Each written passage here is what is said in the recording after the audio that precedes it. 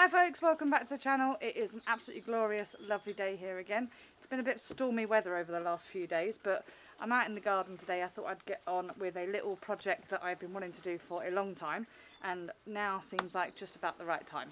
So in today's video, I'm going to be building a wormery out of some nice cheap plastic boxes.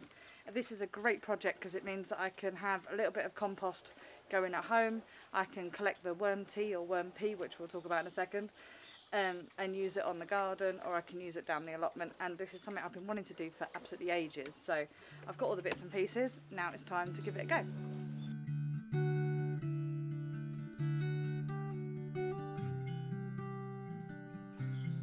We've never met before, my name is Nikki. I run Back to the Good Life with me and my husband G. So this channel is all about our journey towards living more self-sufficiently, growing our own food and, food and medicines, and just living a, a little bit more of a sustainable lifestyle.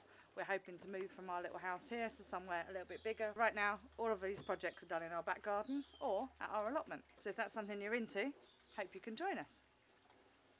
So this project is dead easy. I've seen loads of people do it, so I'm hoping that we should be able to make this one quite simply. I've got three uh, recycled plastic boxes here.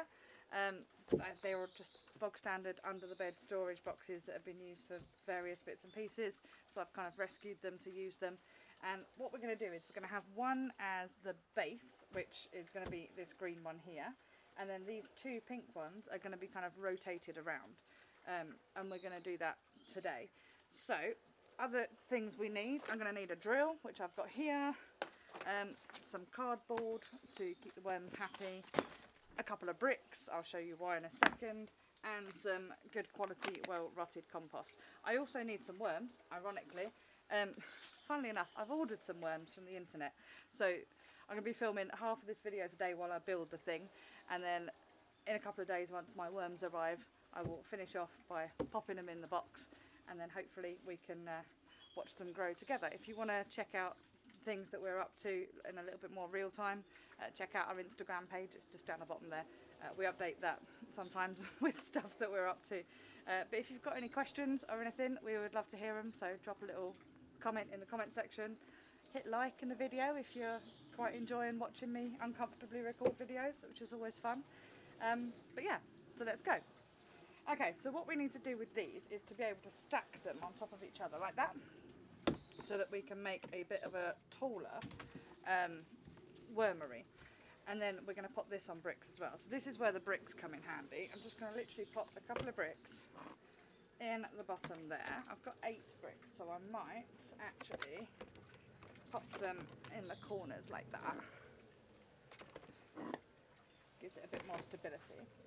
And then when we put our box on top, that can sit on the bricks and as you can see we can start stacking it up here. So that's going to be our bottom box. I'm going to move that over for a second because there's not much else we need to do to that one. But for these ones, these are going to be the boxes where our little worm friends are living. So we're going to grab, grab our drill and what I want to do is flip it over and just pop a load of holes in the bottom. So I'm just popping some uh, holes in the bottom here. Top tip I've learned, don't push too hard because it will crack, um, which is not what we wanted, but that doesn't matter too much.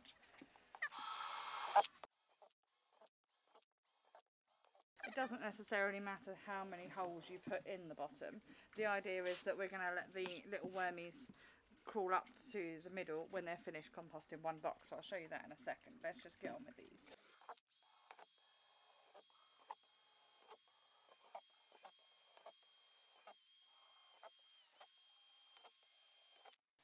Good. So when we're drilling in, a lot of the little bits of plastic come off. This is the stuff I don't really want in my garden. So I'm just going to save these. Find somewhere to put them. Pop them on the table for the minute.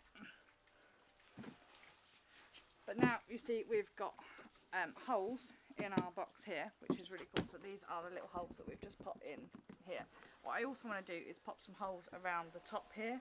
This is going to be air holes, so it keeps it nice and fresh for our little worm friends. So I'm going to do that now.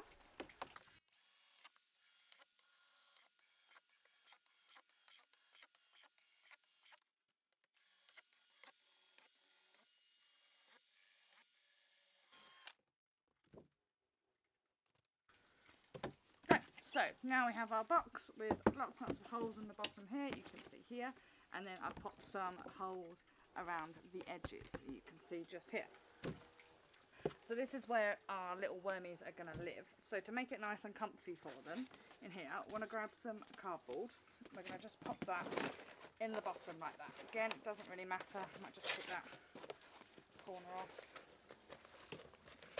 Try and make it a nice kind of half decent snug fit for them. This is just going to be the base of their little house. So pop that in there.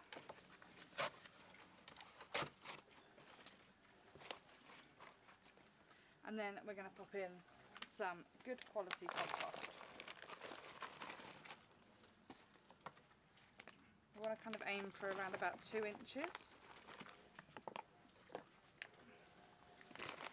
should be just enough here.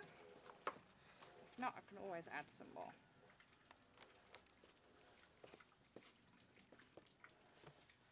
Spread that out nicely. So I'm going to spread that out nicely here. You can see it's half decent quality compost, so there's already quite a few critters and creepy crawlies in there, which is really good. The worms will love that. And that's how I'm going to leave this box for the minute, um, because this is where our little wormies are going to live. Now when they arrive in the post in a couple of days time, I'm going to pop the worms in, and then I'm going to put some food scraps on top. So let's move that one to the side, over there. And then for this box, we are going to do practically the same thing. We're just going to pop some holes in it and then we are going to put some holes around the outside as well. So let's do that now.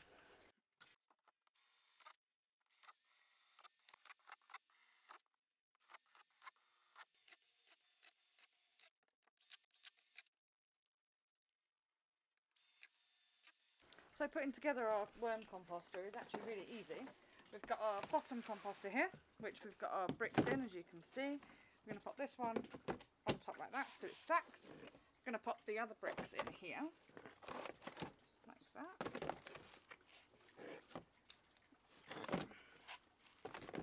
And then we're going to pop our worm house on top like that. So when we do actually get our little worm friends and we pop them in here, we're going to stick some cardboard in and just keep them warm like that. We're going to do that in a couple of days once we get our um, little worm friends and then we're going to pop a little lid on top like that. And then this is our really really simple worm, cost, worm composter. Um, it's dead easy to move around and we can keep it in the shed which is really useful.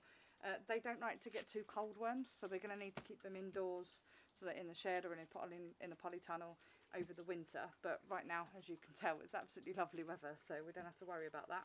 Um, I'm going to come back to you in a couple of days when we've got our little worm friends in the post and we're going to pop them in and see how they're settling in. Welcome back worm friends. So we're just going to add our worms to our new wormery that we've just built. So these just arrived in the post today. They are tiger worms.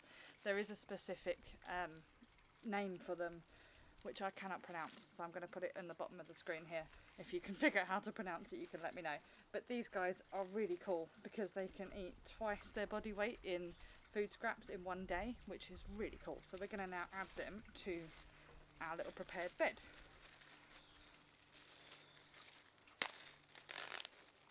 Put them in. Let them get acquainted move them around a little bit so you can see there's loads of little wormies in there. They're going to have a lovely time Nice. So these little wormies are tiger worms and they're going to be very happy to just kind of live in here and we're going to pop some little scraps in to keep them nice and warm. That guy's doing some acrobatics over there. He'll get in the earth soon and he'll enjoy it. So we're going to pop in some scraps, then we're going to make it a little bit moist for them in here. So when you're adding kitchen scraps, it's important not to add too many um, and don't overfill it with allium, so things like garlics and onions. So I'm going to put just these guys in the top here, give them something nice to eat. A lot of people worry about wormeries being a bit smelly. Uh, they can be if you don't have good ventilation, which is obviously what we've put the um, holes around the top for. And also if you overfeed your worms. So a little and often is better than huge amounts of food. So we've got a nice mix of food scraps in there. We've got some potato scraps, avocado skins, broad beans um, cases that from broad beans that we actually grow on the allotment, which is really cool. So we're going to pop them in there. Our little wormies are going to have them as something to eat. You can also add things like um, little bits of cardboard and paper to it. So we're going to stick some cardboard in there. So they can digest some of that as well. Go, pop that in there. And this should hopefully keep our little worm friends nice and happy. I'm also going to spray this very occasionally with some water as well, just so that it's kept a little bit nice and moist for them. And then hopefully they should be lovely and happy. To keep them nice and shaded, I'm just going to pop some cardboard on top like that and then I'm going to put the lid on. They will eventually break this cardboard down as well, but it's nice to just keep something on top for them. Um, so I'm going to pop the lid on here. And now, our wormery is ready to go. So the worms will eventually break everything down there. And then when this box here is full, we're just going to take it off and pop the middle one on top and the worms will migrate up and start to fill that box up as well. The resulting liquid that will come off of it will collect in the bottom tub here, you can just see here. Um, and that's called, we call it worm tea or worm pea. It makes a really, really good fertiliser for your garden. So you can mix it um, 10 parts to one part water, pop it on your vegetable garden and it works great as a fertiliser. So this is what we are going to do with this. Our worms should be lovely and happy in here. We're going to add little bits of um, scraps and kitchen scraps to it and hopefully we should have some lovely compost from them and some lovely fertiliser. Great way of getting rid of our kitchen scraps. Wormeries are great if you've got a small space, like we've got quite a small garden here, so we can't have a big compost bin. We're also a little bit worried about vermin around here, so we're not, we don't want a big compost bin. Um, we've got a big one at the allotment, which we put the rest of the scraps in, but this is a, a great option for our small garden.